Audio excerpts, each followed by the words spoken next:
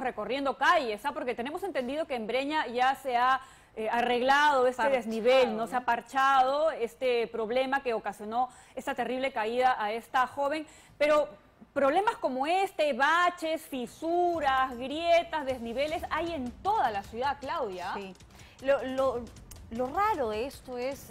Yo no sé si los alcaldes no ven nuestro programa porque nosotros estamos caminando semana tras semana, facilitándoles el trabajo, porque de una u otra manera que los vecinos denuncien es la facilidad que ustedes tienen de poder llegar a la zona y trabajar por ello, y no reactivamente, señores, porque ya nos ha demostrado la historia que se esperan grandes accidentes, que ¿qué se está esperando? Que ocurran muertes y demás para solucionar lo que debería ser una agenda a diario de los alcaldes, de verdad que es terrible. Y a propósito del recorrido, nos vamos a ir hasta otro punto. Ahí está nuestra compañera Yulisa, Rivera, que nos va a dar cuenta de otra eh, situación. Yulisa.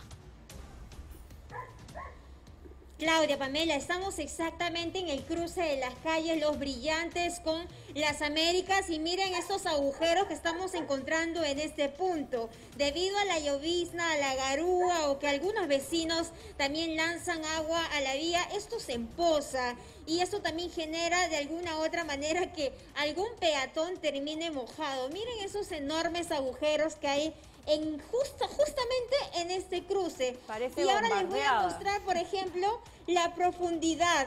La profundidad de estos agujeros. A ver, vamos a ver, miren. Miren hasta dónde va a llegar el cartón.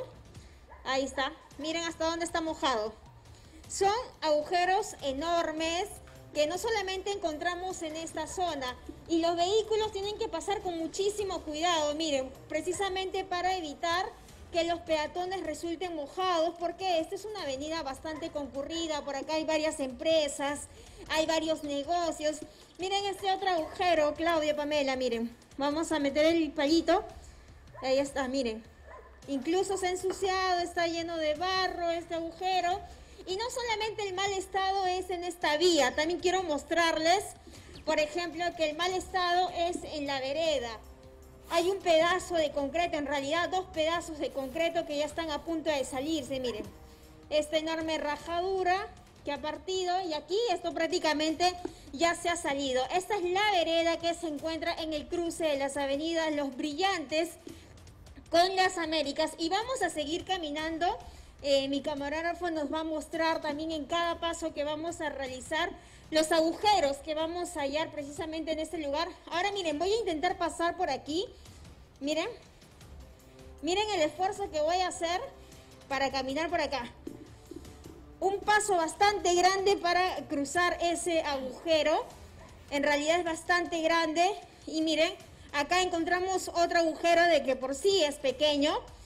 Pero igual representa un peligro. Nosotros ya hemos visto esta nota donde una mujer quedó inconsciente debido a este incidente, al mal estado de las pistas. Miren, aquí vemos otra vez el desnivel de la pista. Se ven que han realizado trabajos por la zona, quizás por agua, agua, desagüe, gas, no lo sabemos. y esto también genera, ocasiona de que quedan agujeros. Exactamente, no refaccionan muy bien los agujeros que hacen en esta zona y bueno, con el tiempo estamos observando las consecuencias de este trabajo. Ahora estamos exactamente en los brillantes, miren. Hay piedras que se meten en estos agujeros y si mi camarógrafo me ayuda, aquí por ejemplo hay un detalle.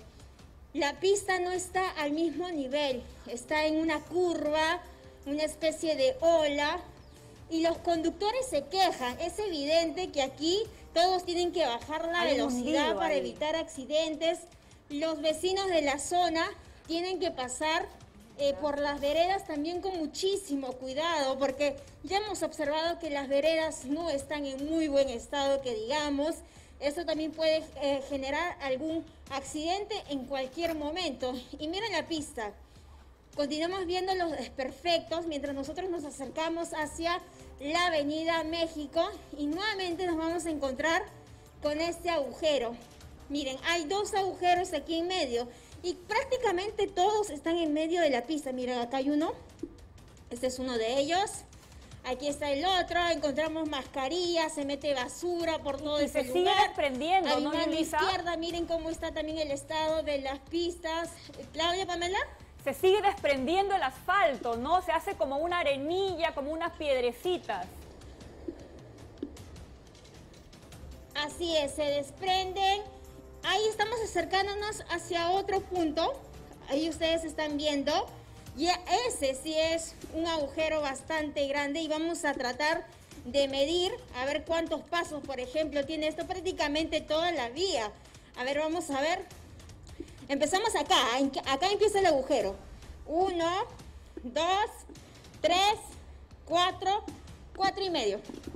Cuatro y medio, es prácticamente toda la vida. Ahí está el conductor, miren cómo va a bajar la velocidad, va a tener que pasar de esa forma. Con muchísimo cuidado tienen que movilizarse por esta vía. Allá el caballero precisamente se está quejando de la pista. A ver, vamos a escucharlo. Caballero, usted transita por esta zona normalmente. Es un desastre las pistas. A ver, a ver. Acá en el Terminal Flores, taxista acá autorizado, acá en la Victoria. Nunca arreglan esta pista, nunca, nunca, siempre lo mismo. ¿Cuánto tiempo está así? Años de años, nunca cambia. El alcalde, creo que el alcalde no pasa por aquí. Realmente no pasa el alcalde por aquí. Y el mal estado no solamente es en las pistas, sino en las veredas. Sí, las veredas, los amortiguadores, todo malogran el carro. Todo. Se presta para ¿Se ha muchas cosas. generado un accidente? Claro, siempre ha habido accidentes, sobreparan los carros, patinan. Y pues, mire, ¿cómo están las pistas? Mire, un desastre. Todo, este camino desde México hasta el fondo, un desastre la pista, un desastre, totalmente. Muchas gracias por sus declaraciones. Entonces ya eh, conversó con nosotros un conductor, les malogra su vehículo, Claro, estos Yulisa. enormes agujeros que están aquí. No, sí, Yulisa, que se arreglen las pistas no solo es un tema estético, es un tema de seguridad. Porque ya hemos visto cómo una peatona se ha tropezado y ha quedado pues inconsciente, ¿no? Tirada en, en- en el piso. Pero esto también puede ocasionar accidentes de tránsito, ¿no? O puede o- crear la oportunidad también para que los delincuentes eh, ataquen, ¿no? Porque los vehículos tienen que bajar la velocidad para pasar por con cuidado y ahí aparecen pues estos carroñeros, ¿no? Para atacar a los conductores. Entonces, esto es una responsabilidad directa de los alcaldes distritales, ¿ah?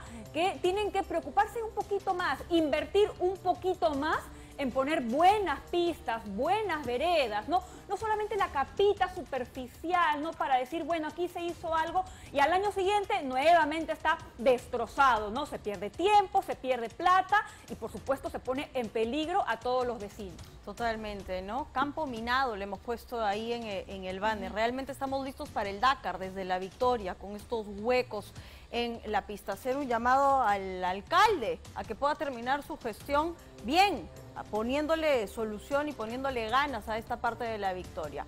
Gracias, Yulisa, por la información.